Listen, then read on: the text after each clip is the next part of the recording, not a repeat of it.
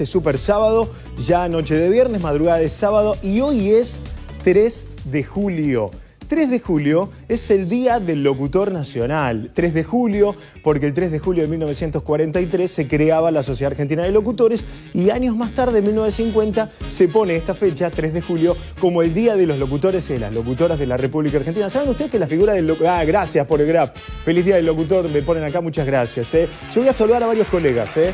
quiero saludar a varios. Hoy vamos a hacer autorreferenciales, ténganos paciencia porque es nuestro día.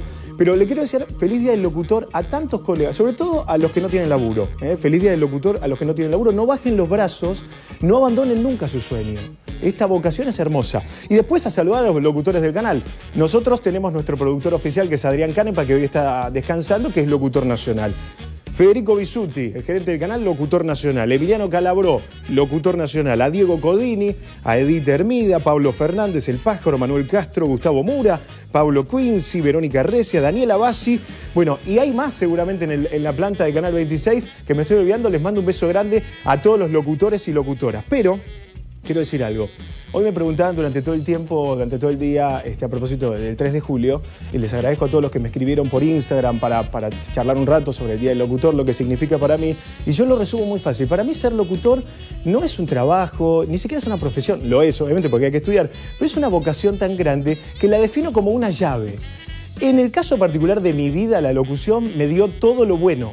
Todo lo bueno desde los trabajos, ahora en Canal 26, hacer este programa que a mí me encanta, que yo siento que ya tiene mi estilo, que es lo que más me gusta, porque yo soy yo acá al aire, con ustedes del otro lado, pero uso la metáfora de la llave, porque para mí la locución, en toda mi vida, en mi vida personal, la vida real, la que no sale al aire, me presentó a las mejores personas que conocí. Y voy a nombrar a dos que me acompañaron en mucho tiempo de mi vida, durante 14 años en total, 7 años, le mando un beso a Graciela Cherela, que fue una pareja mía, que le mando un beso grande, una gran locutora, y a Mayra Martorelli, que me presentó.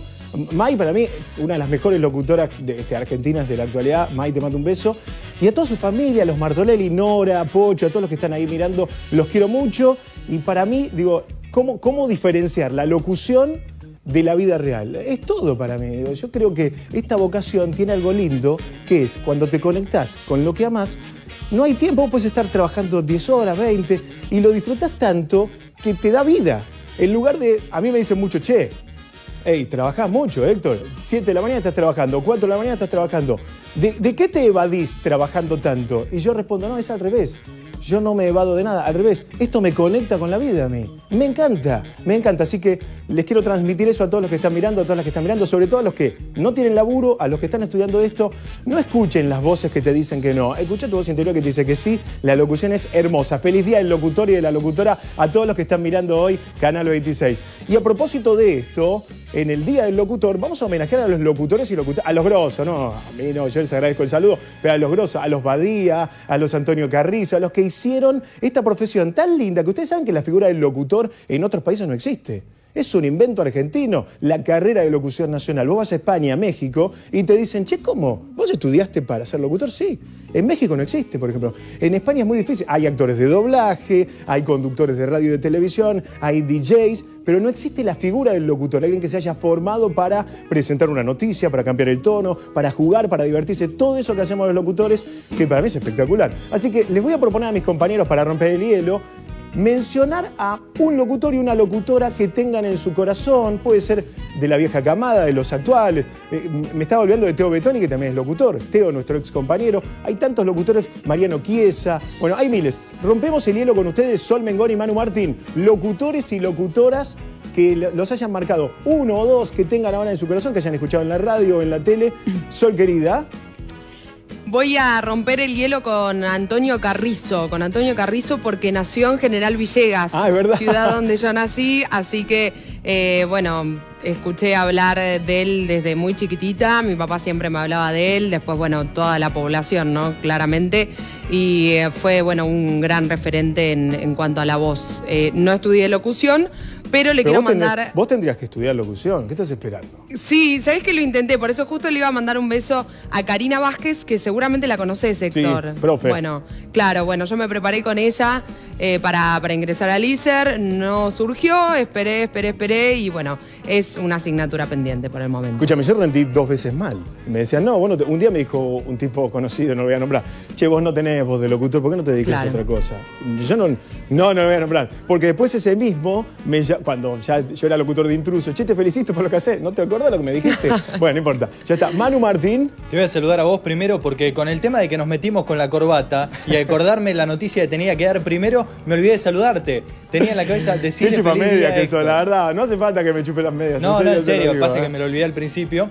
Y tengo que saludar a dos locutoras que son muy amigas de mi mamá, a Marcela Giorgi y a Fernanda Carbonell. Uy, ¿en serio son amigas de tu vieja? Sí, sí, de toda la vida. Las conozco a las dos. Más a Marcela Giorgi, trabajé con ella en Radio Mitre. Bueno, para mí Marcela es como una tía. Héctor conoce a todo el mundo, es increíble. Conozco a todo el mundo, ¿qué? Porque trabajé hace 20 años que hago esto, o sea, y en radio trabajé un montón. Así que Marcela Giorgi hicimos el show del verano en Mitre varios años ahí, le mando un beso. Bueno, nombramos todos locutores y locutoras, ahora te toca a vos. Voy a Instagram, arroba canal26, arroba canal26, te metes acá. Este es nuestro super Instagram. Che, saludamos a Caro Haldeman también, que está complicada justo en el día del locutor, pero justamente miren lo importante que es el tema del, manejo de la voz. Caro está complicada de la voz, se quedó sin voz y obviamente sin voz no podemos trabajar nosotros. O sea, es, todo, es todo un, es todo un ritual la locución. ¿eh? No, solamente es lo que hacemos al aire, sino también fuera del aire. Así que, Caro, que te mejores pronto, te estamos esperando. Arroba Canal 26, arroba Canal 26. Se meten acá en vivo, le dan un like a nuestra super foto y comentan. Hoy homenajeamos a las voces de nuestro país. Tenemos tanto talento en Argentina, tanto talento en la locución, al que recuerdes, porque tal vez lo escuchabas con tus padres, Cacho Fontana, Héctor Larrea, Antonio Carrizo, Fernando Bravo, Silvio Soldán, Jorge Formento, Marita Monteleone, Betty Elizalde, la negra Bernasi. Mira cuántos locutores, cuántos talentos. Mario, Pergolini no, lo tuvo después el carnet Mario. Pero hay tantos, tantos, tantos. Bueno, después tenés locutores que no sabés que son locutores. Por ejemplo, Ariel Tarico, que es locutor, es un gran humorista, un gran actor, pero también es locutor nacional. Yo conozco a mi amigo Mauro Trucel, le mando un beso grande. Eh, el, Pato Venegas. Bueno, locutores y locutoras, acá los saludamos hoy. Arroba Canal 26, feliz día Héctor. Bueno, gracias a los que me saludan también a mí. David, está Judith por ahí. Feliz día del locutor. Y tenemos para, para romper también con, con este disparador un video. Un video que se realizó el año pasado. Lo gestionó Marita Monteleone, que fue la voz de la Telefónica, ¿se acuerdan? Hace, hace varios, sigue siendo. Eh, y, también es una voz histórica que acompañó a Héctor Larrea en Rapidísimo. Marita, junto a César Leiva, que lamentablemente César fue una víctima del COVID, murió hace pocos meses. César llevó adelante este video homenaje a los locutores, entre los que está Lalomir y tantos otros, que hablan de lo que significa ser locutor. Mira. La palabra locutor proviene del latín y literalmente quiere decir el que habla. Pero para todos significa mucho más que eso. El locutor comunica. Los locutores ayudan a comprender. Los locutores educamos. Le dan sentido a todo aquello que está escrito. Producen sensaciones diversas, como alegría o terror. Te guían en tus viajes cotidianos o largos. Te invitan a compartir siempre una aventura diferente. Te llevan a recorrer el mundo y más allá. Te ofrece lo mejor para una vida placentera. Te informan y te entretienen. Muchas veces convirtiéndose en tu compañía. O a lo mejor cuando recién te levantas. Quizás en los momentos en los que cocinas, o trabajás, o estudias. Otras, en despedirte por las noches, antes de ir a dormir. Cuando decidís apagar la tele o la radio los locutores, somos los que te hacemos soñar y recordar. ¿Y por qué no? Alguna de esas voces de las que te enamoraste alguna vez. más fuerte, que no te escucho. ¡Cállate, retonto! Camine para allá, lo voy a hacer en el calabozo. Camine para allá. Tiren papelito, muchacho. Como también esa voz capaz de recordarte algo que habías olvidado. Que trajo a tu presente ese grato recuerdo de tu pasado. El anuncio del sorteo que tanto esperabas. quien dijo tu nombre el día que te entregaron tu diploma. Quien animó tu fiesta y te divertiste como nunca. Y sí, ser locutor es algo mágico. Es lo más parecido a caminar entre las nubes. Es una profesión honrosa, que a veces se pone difícil. Pero llena de satisfacciones que nos hacen ser grandes. Pequeños, hermosos y muchas veces invisibles. Hombres, mujeres, todos buscando que recibas el hermoso regalo de escuchar en cualquier lugar un buen comercial. Disfrutar lo tuyo y compartirlo. Energía y pasión en la voz. Cuando vivís tus mejores momentos. Bravo, eh. Todos grosos y yo estaba ahí, pero yo les agradezco que me hayan convocado para esto. a la memoria de César Leiva, la que palabra se lo llevó el COVID. Bueno, ahí vos quizá, porque también a mí me, me gusta contar siempre cuando hablo con los colegas, algo que ahora te voy a compartir a vos, ahí la tenés a Marita Monteleone. No todos tenemos la suerte, la dicha de poder eh, tener cara. Me refiero a, que vos nos conozcas. Eh, la profesión del locutor en general es eh, bastante bastardeada, ¿no? Porque estamos eh, o en off o no nos ven, pero le ponemos todo igual.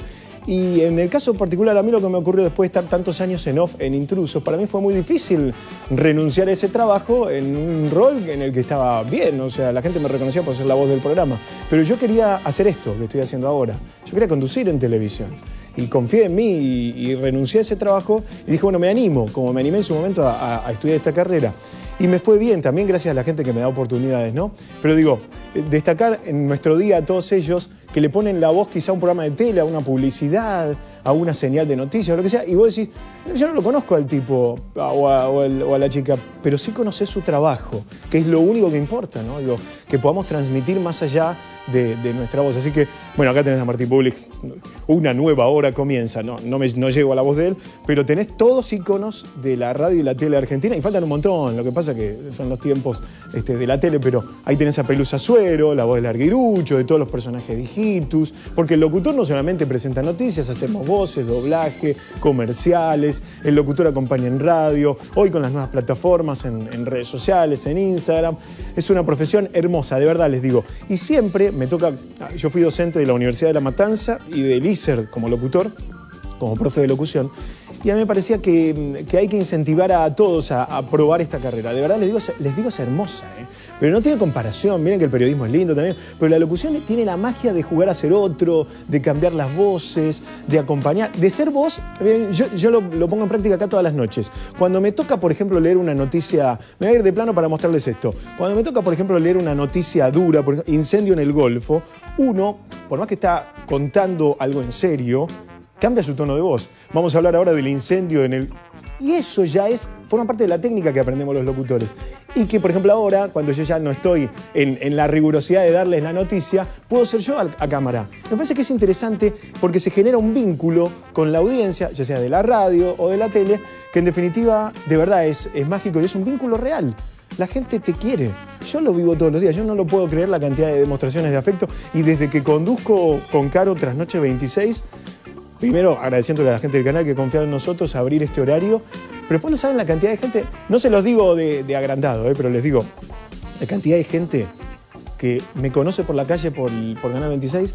O sea, cuando salgo, no sé, voy a comprar, este, voy al súper y salgo con el pelo, porque también pasa cuando voy con el barbijo y un gorro, todos no me conocen. Pero cuando voy con el pelo, Héctor, señor H, Canal 26. Lo más gracioso es cuando te dicen Canal 26. Me señalaban el otro día, venía de correr a la noche antes de venir para acá y frena un auto en un semáforo. Canal 26, te veo todas las noches. Eso es un vínculo con vos que estás ahí y que de verdad es mágico gracias a la locución. Vamos a seguir hablando de esto toda la noche porque hoy es el día del locutor y de la locutora. Justamente te lo anunciaba recién.